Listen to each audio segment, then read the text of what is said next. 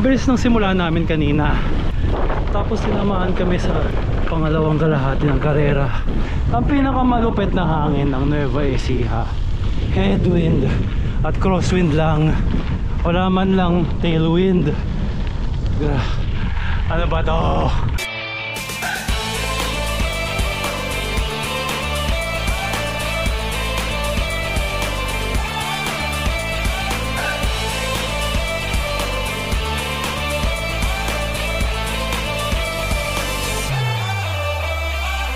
Ginanap ang unrestricted 2024 gravel race noong January 28, 2024 sa Palayan City, Nueva Ecija.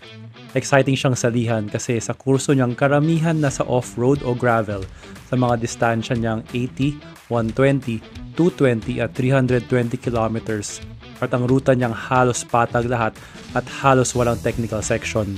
Sumali ako sa 220 kilometers men's gravel bike category bilang paghahanda patungo sa Odax Bohol 400 sa March 23 at Odax Subic 600 sa May 25. Excited akong sumali sa napakahabang gravel race dahil hindi pa ganun kahaba o ganun karami ang mga off-road sections ng ibang gravel races na nasalihan ko noon. Kahit na excited ako at nakakatuwa yung karerang ito, hindi siya perpekto. Kaya halika, papakita ko sa inyo ang unrestricted, the good, the bad, and the ugly. Pero bago ang lahat, nakapag-subscribe ka na ba sa Jangan Bikes? Kung mahilig ka sa bike adventures, bike trips at tips, mag-like at subscribe na rito para mauna mong makikita ang mga bago kong video.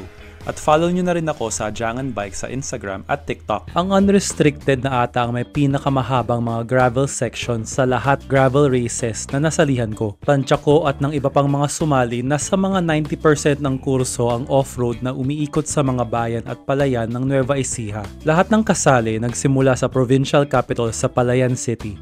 Para sa 220 kilometers, bumaba kami hanggang Gapan.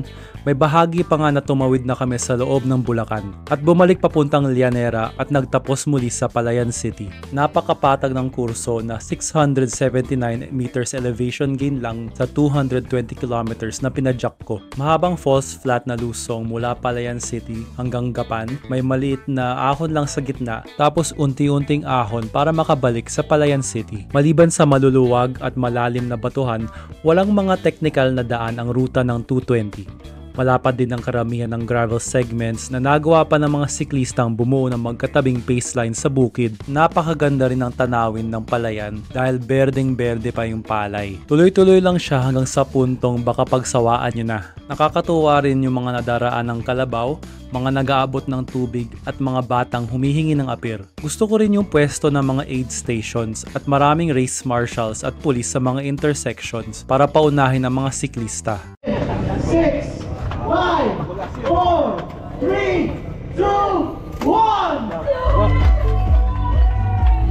Uunahin ko sa sarili ko na kulang ako sa ensayo dahil galing sa mga bakasyon nung Disyembre at galing din akong sakit nung nakaraang linggo bago ng karera. Pero sinubukan ko pa rin kumarera sa simula para makakuha ng magandang pace.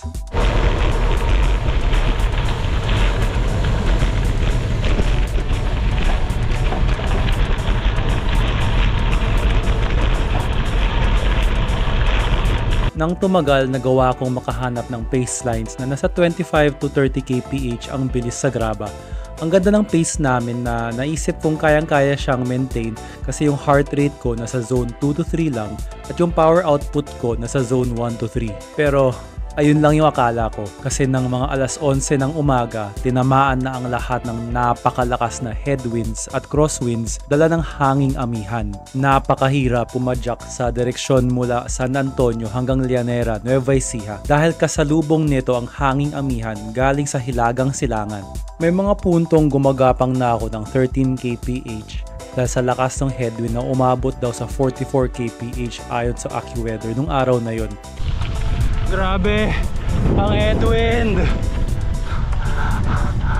Walang takas sa headwind na to. Parang may bagyo. Nung huli kong gravel race sa Gravelton, Clark, nakapagruta pa akong dalawang beses. Kaya alam ko yung aasahan ko nun. Pero dito sa unrestricted, hindi ko siya nagawa. Kaya hindi ko rin talaga alam kung anong dapat asahan sa ganito kahabang gravel route. Hindi naman tumaas yung heart rate ko kaya hindi pagod yung baga ko. Pero naramdaman ko talaga yung bigat sa mga binti at braso ko na hindi sanay sa pangmahaba ang off-road rides. Dumating nga sa punto na hinihintay kong maging sementado ulit ang daanan para lang makapahinga. Grabe talaga yung kurso ng unrestricted. Sinabi sa amin na 90% gravel at ganoon na nga. Hindi ko inakala na nakakaumay pala siya. Lalo sa first timer na sumali tulad ko. Siguro walang katapusan ang fire road at palayan. Napakaganda naman ng view pero sa puntong ito dahil ang hirap na laspag na medyo nakakaumay at eh, sabik na sabik na talaga akong makabalik sa Airbnb para maligo sa pool ito na nga eh, nakakaingit na nga eh parang sarap maligo pero ang bilis ng agos ng tubig at kanina pa ako mag-isa ayun may meron sa malayo may kasunod may dalawa na mahabol siguro nila ako okay, kita kits mamaya sa finish line Masyado rin ata mataas yung tire pressure sa mga gulong ko. 45 PSI sa 40mm wide tires. Kaya nang tumagal, namanhid yung mga palad ko at medyo masakit din para sa puwet. Nagkulang din yung kapit ko sa isang liko kaya ako napasemplang. Sa tingin nyo, ano dapat yung tire pressure na ginamit ko nito? Comment nyo lang sa baba. Isa sa nagpahirap sa karera ang malabong mga direksyon. Napakaraming napabalitang nawala sa lahat ng mga kurso. Kahit na may GPX files na pwedeng ilagay sa mga bike computers at may mga senyas na nagtuturo kung saan ang tamang daan, may ilang mga punto na hindi sila nagtugma. Ang sinabi sa FB page ng organizers, sundan ng arrows. Pero minsan, hindi halata kung nasaan ang mga ito lalo na sa dilim kasi hindi naman din sila nakailaw. Sa puntong ito, ang laking grupo namin na nagkamali ng liko.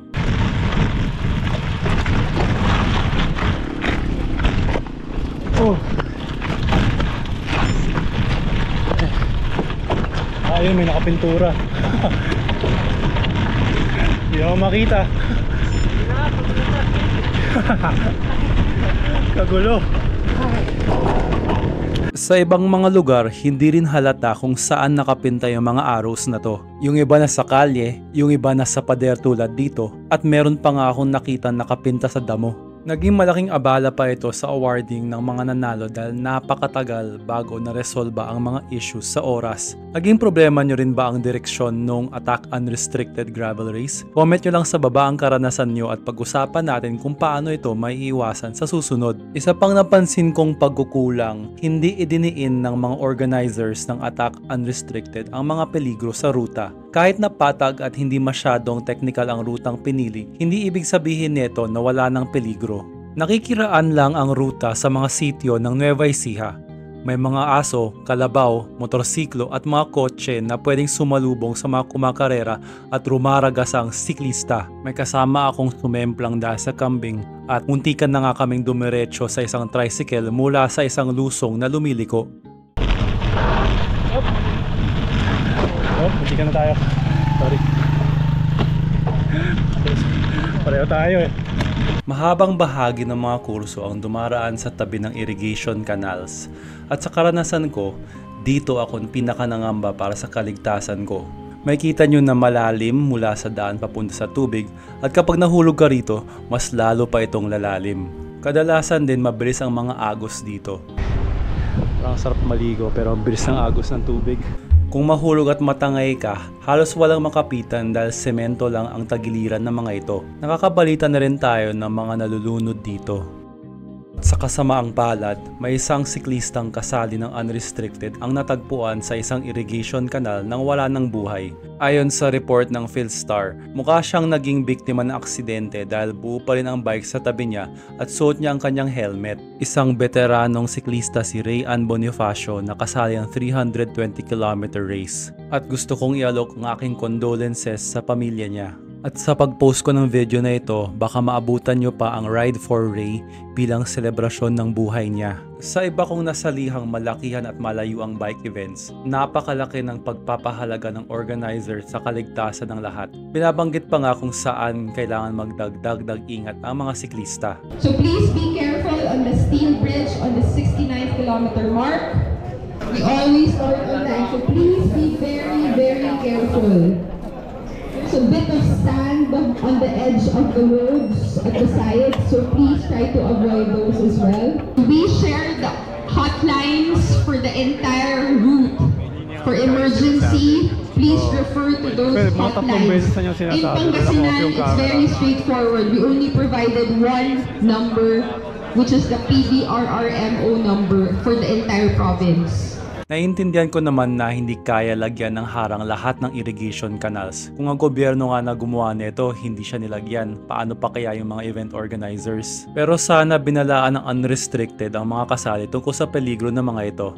Dahil hindi lahat may oras para magruta bago ng karera para makita ang mga canals. At mas lalo itong delikado para sa mga pumadyak ng walang araw kasi hindi kita kung nasaan ang saktong lugar ng mga kanal kahit na may ilaw ang mga siklista. Pakiramdam ko talaga kulang yung impormasyon na binigay ng unrestricted tungkol sa ruta mula sa mga nakakalatong direksyon, yung hindi nagtutugmang GPX sa mga arrows sa kalye at sa mga pader, hanggang sa kakulangan ng impormasyon tungkol sa mga peligro sa ruta. Kung kayang ibahagi at idiin ng ibang event organizer sa mga peligro sa mga events nila, bakit hindi to kaya ng unrestricted? Sayang, napakaganda sana ng kurso. Kung maayos lang sana yung pagpapatakbo ng event, magiging mas masaya sana ito. Sa mga nakasali sa Attack Unrestricted, ano yung mga karanasan nyo? Sa tingin nyo ba sasali kayo ulit? Tara pag-usapan natin.